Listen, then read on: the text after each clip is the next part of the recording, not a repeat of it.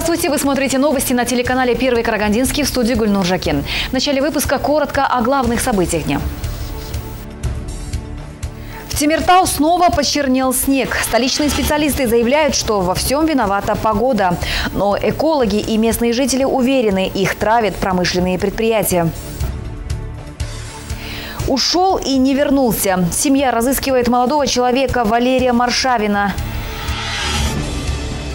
Дурной пример заразителен. Вслед за балхашскими хулиганами карагандинские злоумышленники также стали без повода резать шины автомобилей. Всего в областном центре пострадали 25 автомашин.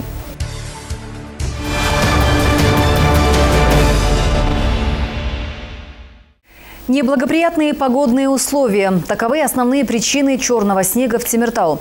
Такие заявления в правительстве сделал вице-министр энергетики Ганис Адибеков. Между тем, в считанные дни свежевыпавший снег вновь почернел. Скандал вокруг черного снега в Тимиртау разразился в начале года, когда из-за выбросов комбината весь город покрылся промышленной пылью. Рабочая группа, созданная Акимом Карагандинской области, занялась этой проблемой. В ходе открытого совещания по экологии вице-министр энергетики Ганис Адибеков заявил, что черный снег в городе стал следствием неблагоприятных метеоусловий. Здесь несколько факторов, то есть как бы и основной из факторов, э, хотите вы меня услышать, можете со мной соглашаться или нет, это, конечно, неблагоприятные метеоусловия, потому что с 1 по 14 января 8 э, дней было без ветрия. То есть как бы все, ни одно а, предприятие не нарушало законодательство, не превышало нормативы, но в воздухе происходила концентрация загрязняющих веществ. Это мнение вице-министр озвучил и в Астане, однако независимые экологи не согласны с его позицией. По словам директора областного экомузея Дмитрия Калмыкова, винить погоду нельзя. Списывать на штиль – это то же самое, когда на улице упал на гололеде, списывать на гравитацию силу тяжести. Виноват в том, что песок не посыпали. Это исходные условия. У нас иногда не бывает ветра. Когда нет ветра, все вдруг внезапно видят, что промышленность невероятно грязная. Вот два эколога, у вас разное мнение тоже. Как два юриста, три. Да. То есть причина в том, что промышленность грязная. Я не знаю, кто виноват, но ее надо сделать чище. По данным областного департамента экологии, на сегодняшний день основным загрязнителем окружающей среды в Темиртау является металлургический комбинат «Арселор Темиртау». Более 70% всех вредных выбросов. Еще 20% загрязняет компания «Bassel Group». И лишь меньше 10% приходится на автотранспорт, печное отопление и другие факторы. А пока на тимиртауских предприятиях идут очередные проверки, жители города ждут улучшения экологической ситуации. Снег недолго был белым, буквально дней 5-7. И все, и опять черный. И опять этим мы дышим. Все с завода. Ну, Опять вот... мы недовольны этим, конечно, это нереально. Почему они платят штрафы, а никаких мер не принимают, никакие уловители не ставят ничего. Штраф заплатил и сиди спокойно, да? А люди пусть этим дышат. Ничего они не начали бороться. Если бы начали, хотя бы один день снег белый был. А то он все время темный. Мирамгуль Салкимбаева, Андрей Тимофеев, Первый Карагандинский.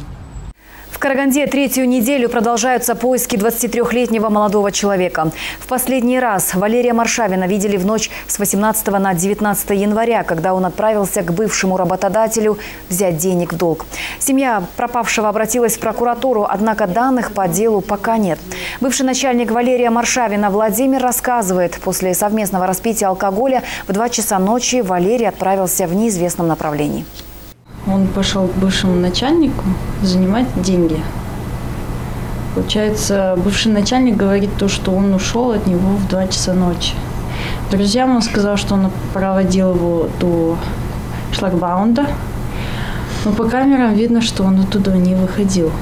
Получается, брат поехал один и все. А вот на камерах, там, получается, напротив этого литовского двора, камеры рядом заправка камер и э, напротив, получается, 2 плюс 1, там, СТО. И вот и, и там на камерах смотрели, вот друзья смотрели, на камерах видно, что он оттуда не выходил. Получается, утром в 6 утра, минут на 7 гаснет свет. Э, получается, там внутри, в этом литовском дворе, там как фонарь, не фонарь. Он гаснет, и, получается, на камерах не видно, что там происходит. Когда свет включается, там вот пробегает человек. видно. Дурной пример заразителен. Вслед за балхашскими хулиганами карагандинские злоумышленники также стали без повода резать шины автомобилей. Всего в областном центре пострадали 25 автомашин. Но лишь 10 человек официально обратились с заявлением в полицию. За одну только ночь у десятков автомобилей неизвестные пробили колеса. Большинство автовладельцев решили не писать заявление, ссылаясь на занятость и отсутствие свободного времени.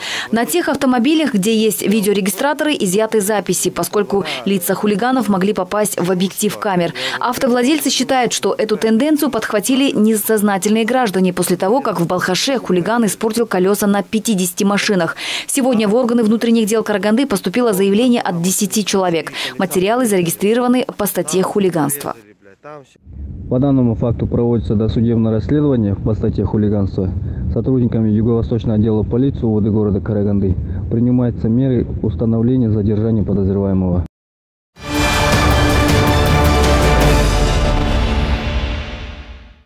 К другим новостям. 2 февраля в театре имени Станиславского состоялось прощание с видным общественным деятелем, участником Великой Отечественной войны Дюстембековым Камали Жуматаевичем. С полным кавалером Ордена Славы, ветераном труда прощались родные, близкие и друзья. Отдать дань э, Камали Жуматаевичу прибыл также Аким Карагандинской области Ирлан Кушанов и депутат парламента Нурлан Абдиров. 1 февраля на 94 году ушел из жизни видный общественный деятель, ветеран Великой Отечественной войны Дюсембеков Камали Жуматаевич. В 1942 году в 17-летнем возрасте он ушел добровольцем на фронт.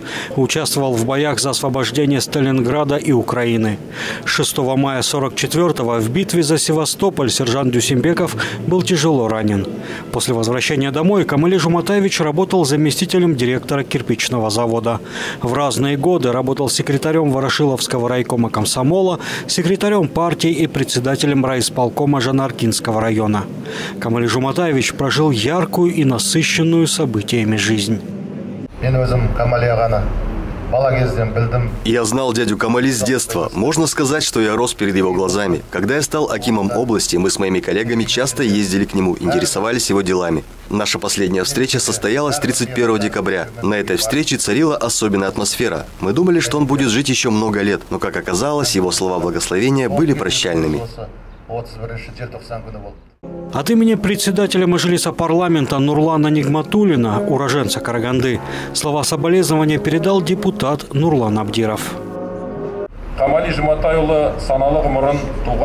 Камали Жуматаевич посвятил свою жизнь службе народу, его развитию и светлому будущему. Своими благими поступками он стал почтенным аксакалом своего народа. Бесспорно то, что его путь станет примером для следующего поколения, а те прекрасные качества, которыми он обладал, навсегда останутся в сердцах его родных и близких. Пусть он покоится с миром. Даже выйдя на заслуженный отдых, Камали Жуматаевич продолжал активную деятельность. Был членом Президиума областного совета ветеранов. За трудовые заслуги награжден орденами Октябрьской революции, Трудового Красного Знамени, орденом Курмет. Это далеко не все его награды. Он также является почетным гражданином Карагандинской области, Жанаркинского и Шетского районов города Караганды. Камали Жуматаевича похоронили на кладбище возле поселка Курлес. Андрей Тенжес, Улан Макулбеков, Андрей Тимофеев, Первый Карагандинский.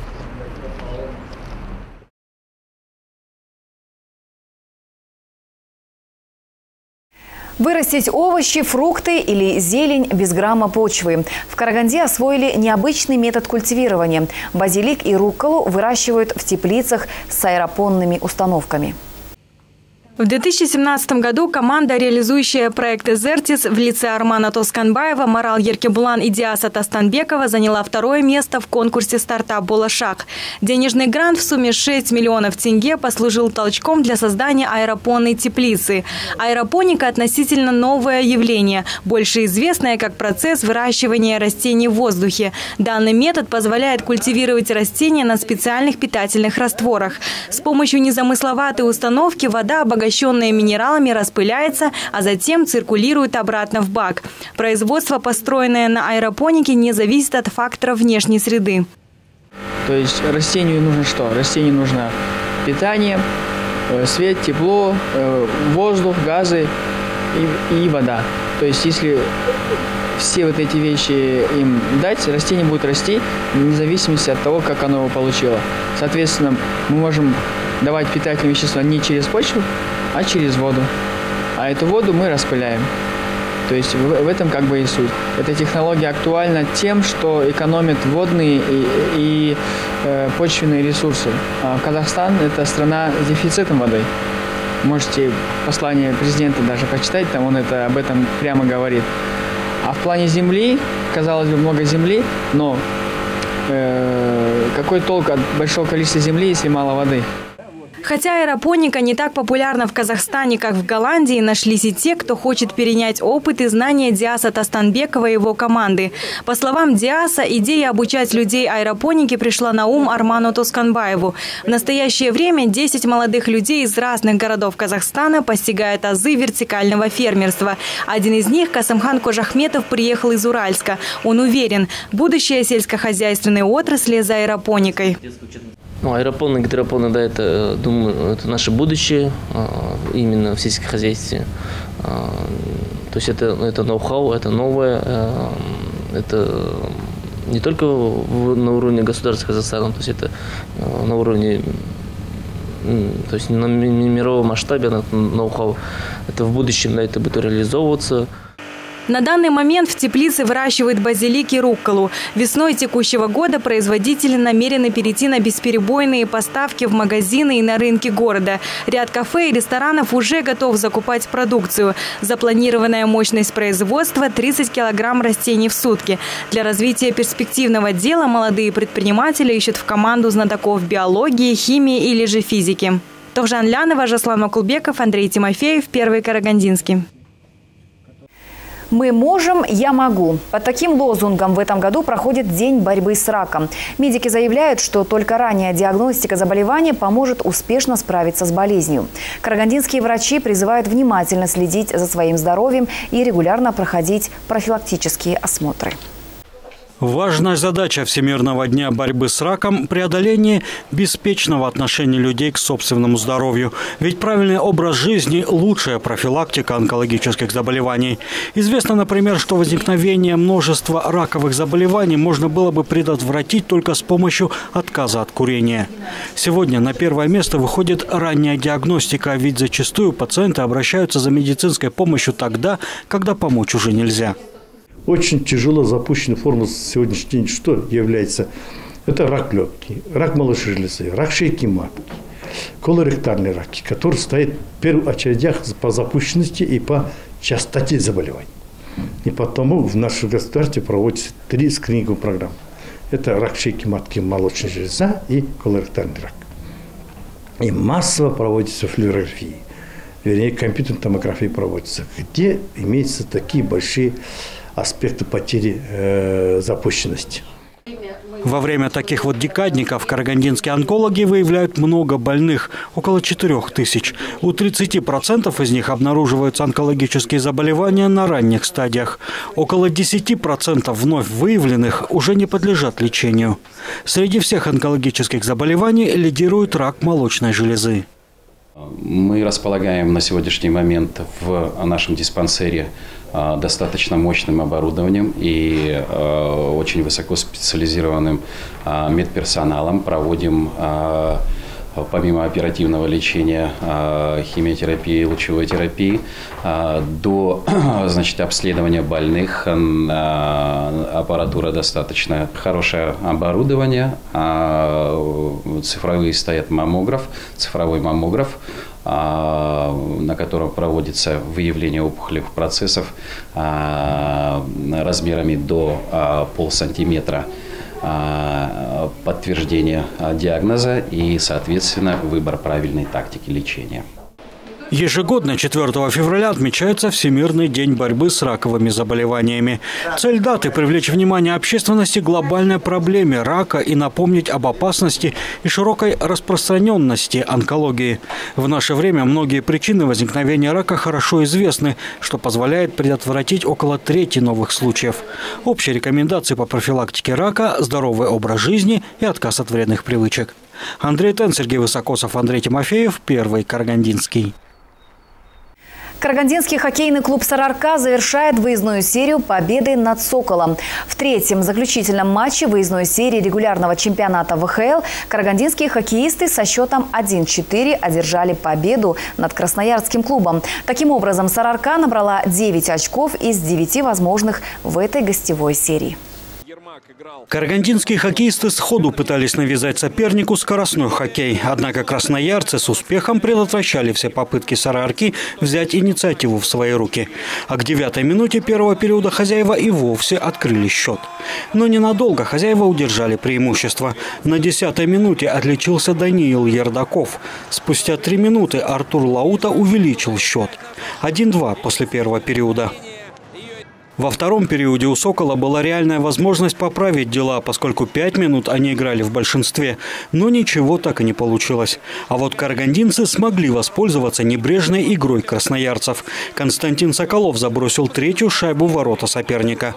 1-3 после второго периода. Весь третий период команды играли на встречных курсах. Под занавес матча тренерский штаб хозяев сменил вратаря на шестого полевого игрока. Удаление у Сарарки заработал Георгий Гелашвили. Игра продолжилась в формате 6 на 4. Однако ошибка Сокола в зоне соперника привела к четвертому взятию ворот. Итог матча 1-4 победа Сарарки. Это восьмая победа подряд карагандинской команды и третье место в турнирной таблице. Следующий матч Сарарка проведет в рамках рамках казахстанского дерби 11 февраля карагандинская дружина примет на своем льду Усть-Каменогорская торпеда. Андрей Тен, Андрей Тимофеев, Первый Карагандинский.